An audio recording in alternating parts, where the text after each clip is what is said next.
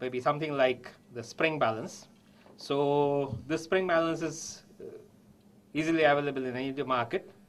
So you have something in grams, something in newtons, and you have a spring inside it, which if you pull would give me how much force is available. So if I pull this spring, so maybe I am now exerting 20 newtons force. So I have the strength of pulling it and I'm just exerting about 20, 25, oh, this is the maximum strength which I can pull on. So now this spring is going to help us or this scale is going to help us give what the force is. Now in order to study coplanar forces, we'll consider this as one plane. This is just a drawing sheet which is placed on a drawing board. And we'll take three of these spring balances or spring scales. So I'll just fit one by one. So this is one which has been fitted here. This is the second one fitted here. And the third one which is already fitted here. Now I'll take some strings. I'll tie a knot at the center and try and hook these to the springs in over here.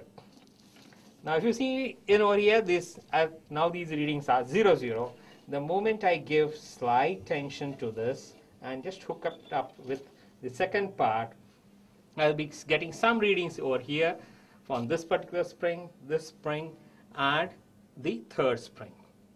Now this is as far as general understanding is concerned.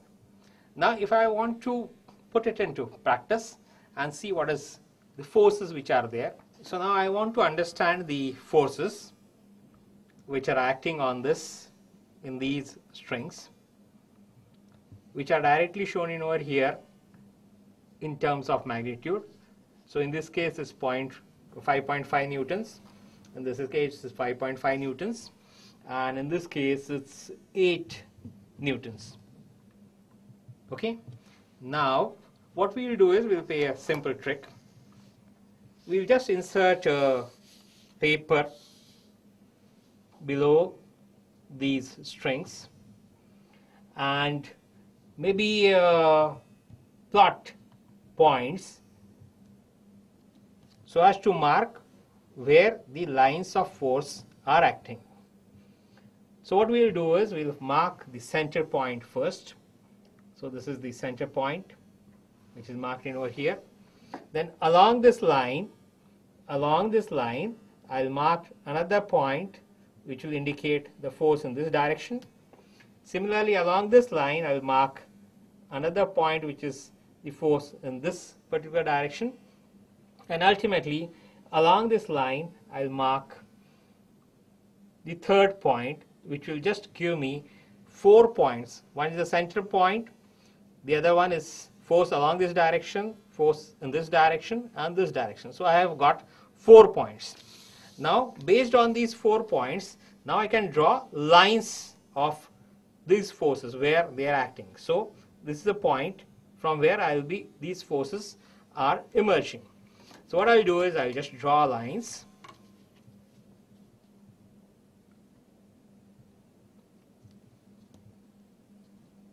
It's bit to a larger scale. So this is one. This is the second.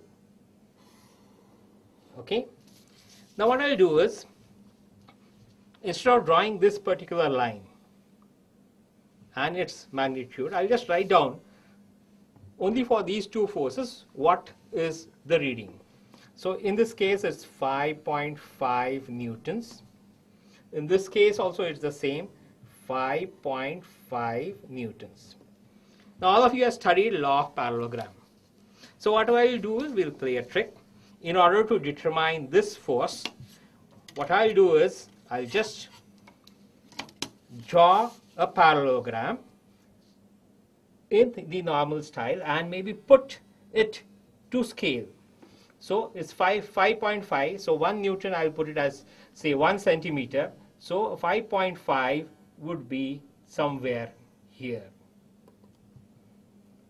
Similarly, and I'll draw a parallel line to it. okay I'll draw a parallel line to this similarly I'll go at the other end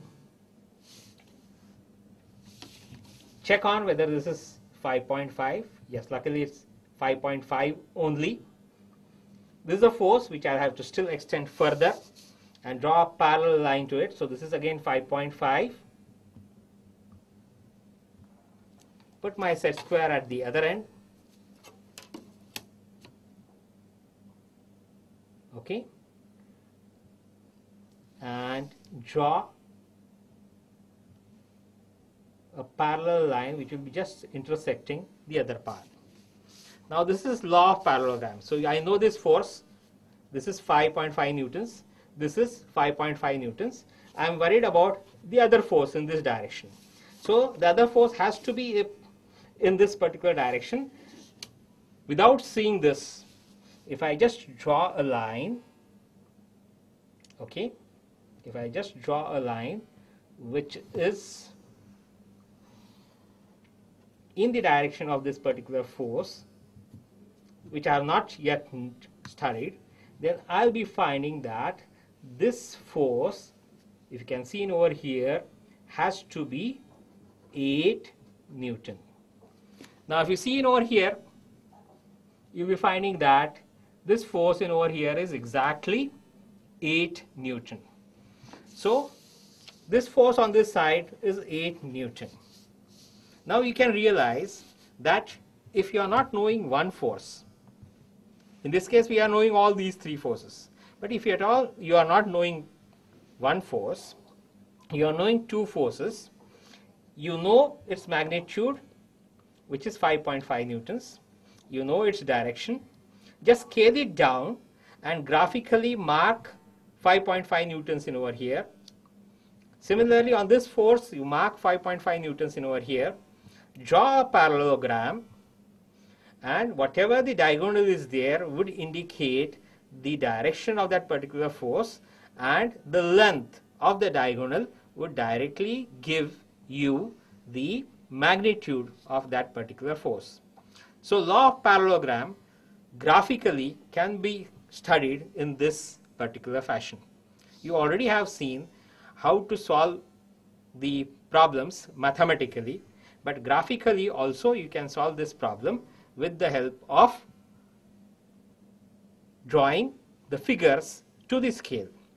So in short, this is the setup which tries and explains law of parallelogram of forces and tries to explain as to physically how you can make use of the law of parallelogram to find out different forces and to verify whether these forces are in proper manner.